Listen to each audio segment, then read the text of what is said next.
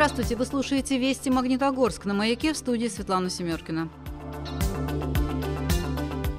В Магнитогорске презентовали новый туристический бренд. В него входят логотип и цветовая палитра, два слогана «Фотостиль» и «Стиль для социальных сетей». Фирменный стиль помогает презентовать идентичность Магнитогорска и продвигать его туристический потенциал на уровне региона и России в целом. Летом 2022 года было организовано голосование среди жителей по вариантам слогана, который в большей степени подходит городу в качестве туристического.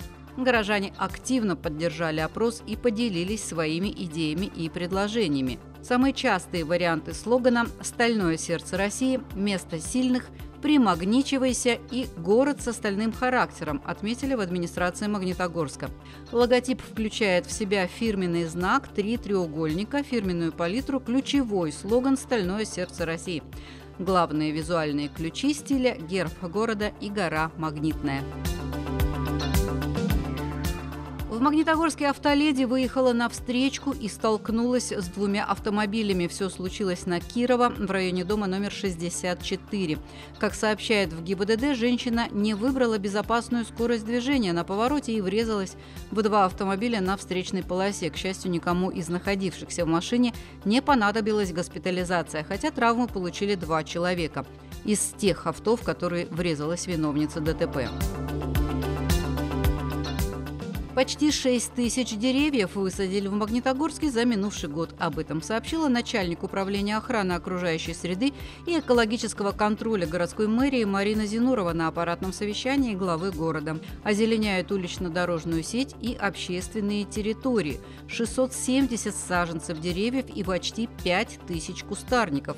Позеленели и южные районы города, а также Ленинский. Там молодыми заменили снесенные аварийные деревья. Продолжили работы по озеленению парка Южный. Высадили 650 крупных деревьев. На очередной обман попались жители Магнитогорска. Женщина думала, что перевела две с половиной тысячи, оказалось почти сто. Горожанка хотела приобрести товар, но для перевода мошенники попросили продиктовать номер карты и телефона для быстрого перевода, а потом и вовсе убедили женщину в задолженности по кредитной карте на сумму 96 тысяч рублей. Потерпевшая продиктовала код из СМС незнакомки, хотя знала, что сообщать его нельзя никому.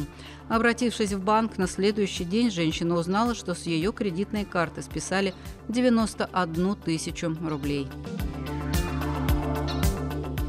Магнитогорцев приглашают на День открытых дверей в налоговые. Он пройдет 15 декабря с 9 до 20 часов.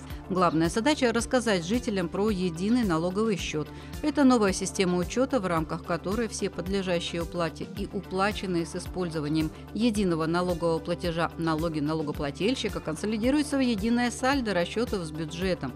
Нововведение позволит упростить оплату налогов, сэкономить время и избежать ошибок. Исчезнет необходимость перечисления накопления большого количества платежей, объясняет в налоговой. На нее перейдут уже с 1 января. В рамках Дня открытых дверей все желающие смогут узнать, что такое единый налоговый счет и какие у него преимущества, какие изменения ожидаются с 1 января 2023 года, как изменится порядок и сроки уплаты обязательных платежей, как будут учитываться и распределяться обязательные платежи, как будет осуществляться формирование единого сальда расчетов по налогам. Молодой мужчина получил сильные ожоги, пытаясь потушить холодильник в квартире. Бытовая техника загорелась из-за короткого замыкания. Пожар произошел в многоэтажке Магнитогорска. Тревожный вызов МЧС поступил в 11 утра. В одной из квартир из-за короткого замыкания вспыхнул холодильник. Огонь повредил вещи на площади 4 квадратных метра. Также пострадал 29-летний мужчина. Он получил ожог 3-4 степени кисти рук, плечей и живота. Также он получил отравление продуктами горения. you. Магнитогорские волонтеры побывали в Москве на форуме «Мы вместе-2022». Среди них участники организации «Волонтеры Победы». Магнитогорские волонтеры Победы проводят около 100 различных мероприятий в год. Это помощь ветеранам Великой Отечественной войны, сбор подарков для них к празднику 9 мая и Новому году субботники, патриотические акции. А в этом году присоединились к акции «Мы вместе». Дежурят в координационном центре по сбору гуманитарной помощи и сами участвуют в сборе. Штаб «Мы вместе» также размещен на базе МГТУ имени Носова. Волонтеры, в числе которых не только студенты, принимают заявки на оказание бытовой, психологической и юридической помощи семьям мобилизованных.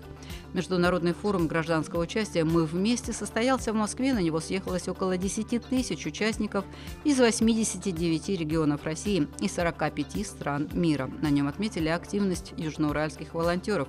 В церемонии награждения принял участие президент Владимир Путин.